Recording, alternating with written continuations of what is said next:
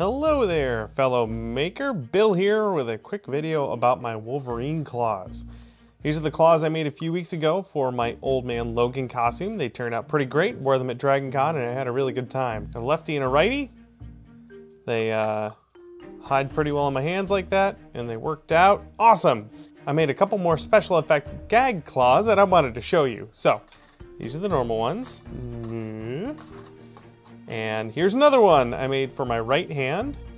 And in the movie, Old Man Logan has a bit of a problem and one of his claws doesn't come out all the way. So I made another set and this one's just a little bit shorter.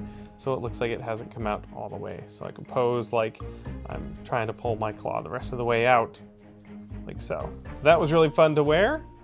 And there was another one.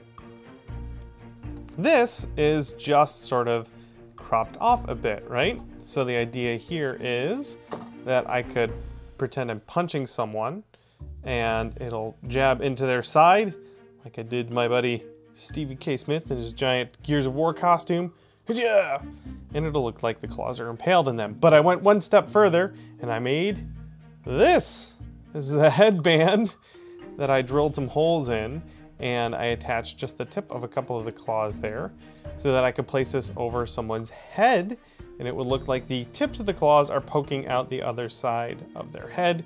Then I can pose with this claw in my left hand next to their head and if I line it up just right, it looks like I'm stabbing through their head and out the other side. So I spent most of Dragon Con dressed as Old Man Logan, pretending to stab people in the head which was a whole lot of fun. There you go, a couple of uh, normal claws and a couple of gag claws for my Old Man Logan costume.